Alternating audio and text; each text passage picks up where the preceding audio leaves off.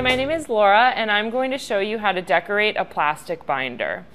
Um, so the good thing about plastic binders is that they're transparent. So what I've done is I've taken a decorative piece of paper, you can take whatever kind you like, and I've cut out a larger piece of like black construction paper to be the same size as the, as the binder to cover the background area. And I'm going to glue them together.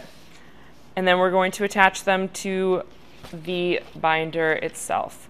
So first of all, what we're going to do is we're going to attach these two pieces of paper to one another.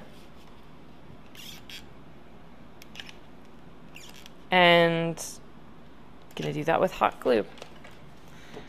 So I'm going to try to line it up as good as possible before putting it down and locking in the glue. Perfect.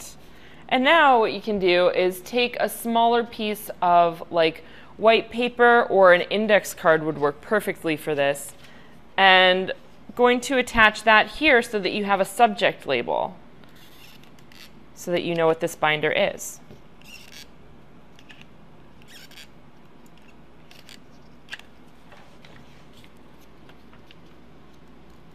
All right, so you're going to want to write on it right now while it's still out of the binder because what comes next is we are going to attach it.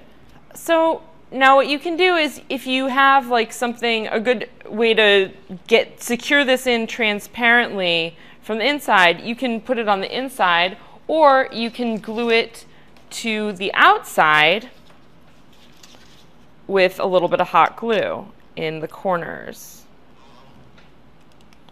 and along the edges. You just run a, a thin stream of hot glue all along this binder. And it should be a little cooler by the time it's time for us to line it up and press. So try to line it up as closely as you can before pushing it down because you get a little bit of leeway to move it around, but not much. All right press down the edges.